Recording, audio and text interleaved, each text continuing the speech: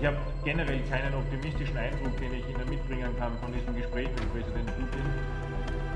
Die Offensive wird offensichtlich äh, massiv vorbereitet. Deshalb aber auch das klare Eintreten.